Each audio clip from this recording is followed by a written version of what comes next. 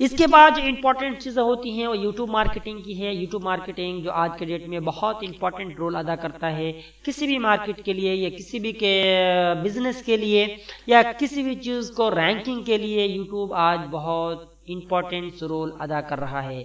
तो ऐसी चीज़ों में अगर यूट्यूब के बारे में आप जानना चाहते हैं या फिर आप अपना कैरियर यूट्यूब में बनाना चाहते हैं तो इसके लिए आप बहुत अच्छा अपॉर्चुनिटी है।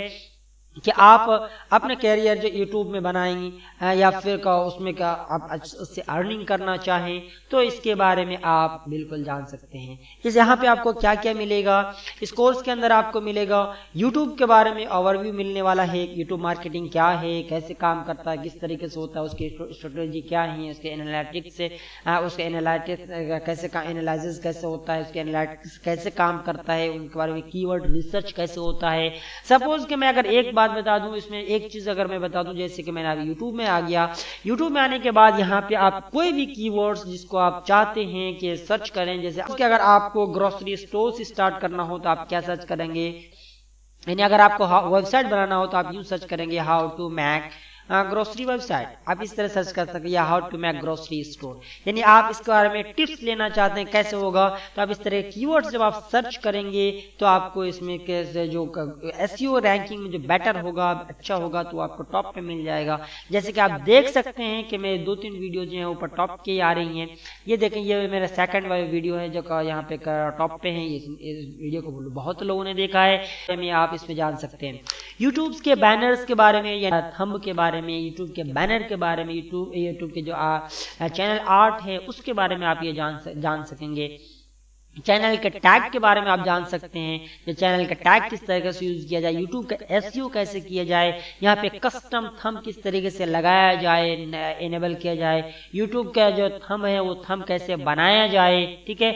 यूट्यूब कार्ड का इस्तेमाल कैसे किया जाए यूट्यूब कमेंट्स में जो आते हैं, उसका कमेंट्स का रिप्लाई किस तरह करें और कमेंट्स के रिप्लाई से कैसे आप अपने कस्टमर गैन कर सकते हैं। जी हाँ मैंने बहुत सारे कस्टमर्स यूट्यूब से लिए हैं, बल्कि आप यूँ समझ लीजिए कि मेरा पर डे का यूट्यूब से कस्टमर कस्टमर मैं अपनी बात बता रहा हूँ। जब तक कि मेरे पास ज़्यादा सब्सक्राइबर भी नहीं है, फिर भी मेरे पर डे जो यूट्यूब से लगभग लगभग पचास से साठ कस्टमर डेली आते हैं। क्योंकि मैंने इसमें यूट्यूब में बहुत सारी चीज़ें डाल रखी हैं। सेम इसी तरह से आप भी अपना अगर बिज़नेस चाहते हैं यूट्यूब के थ्रू तो आप यूट्यूब के थ्रू आप अपने जो बिज़नेस हैं, उसको आप प्रमोट कर सकते हैं, उनके बारे में अपने बिज़नेस के बारे में उनको बता सकते हैं।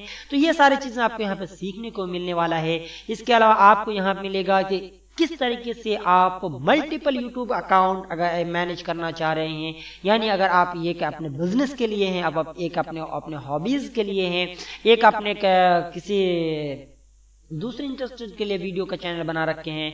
लेकिन कोशिश ये करें कि आप जो भी चैनल बनाएँ, उस चैनल में आपको सिर्फ़ और सिर्फ़ आप एक ही टॉपिक डाल एक ही टाइप की टॉपिक डालें तो आप उसको हर तरह के टॉपिक आप ना डालें तो ज़्यादा बेटर यानी अगर आप टेक्निकल टॉपिक डालते हैं तो सिर्फ़ टेक्निकल टॉपिक डालें, यानी टेक्निकल टॉपिक में आप उसके अंदर खाने पीने का सामान ना बताया करें या खाने की रेसिपी ना बताया करें, क्योंकि वो चीज़ें एक मेन टॉपिक के ऊपर लेके चला करें। एक जिसको हम यूट्यूब की दुनिया में या फिर यूँ सर, यूँ बोल लीजिए कि इंटरनेट की दुनिया में हम इसको बोलते हैं नीच।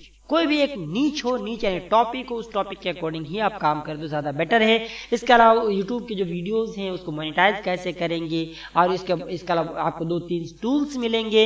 यूट्यूब के ऐड के बारे में यूट्यूब के एनालिटिक्स के बारे में आपको जानने को मिलेगा। यूट्यूब सब्सक्राइबर कैसे करेंगे? इंक्रीज किस तरीके से करेंगे? इन सब्सक्राइबर के बारे में आपको जानने को मिलेगा इस कोर्स के अंदर। तो ये तो रही कि यूट्यूब के बारे में कुछ इंट्रोडक्शन इसके बाद